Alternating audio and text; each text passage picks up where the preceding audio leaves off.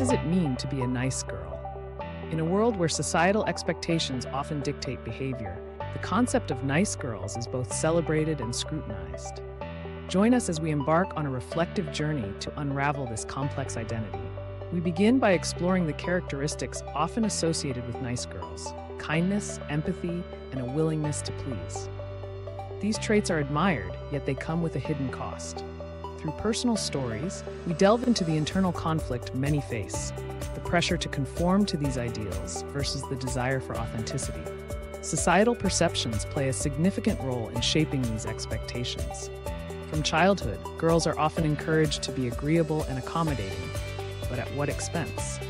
Our interviews reveal the personal experiences of those who have navigated these waters, highlighting both the positive and negative aspects of being labeled as nice. As we reflect on these narratives, we see a pattern emerge a struggle for personal growth amidst societal pressures. Visual metaphors guide us through this journey, illustrating the delicate balance between self expression and societal acceptance.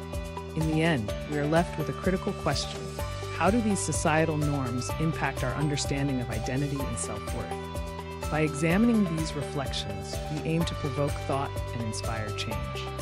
So, the next time you hear the term nice girl, consider the layers beneath the surface.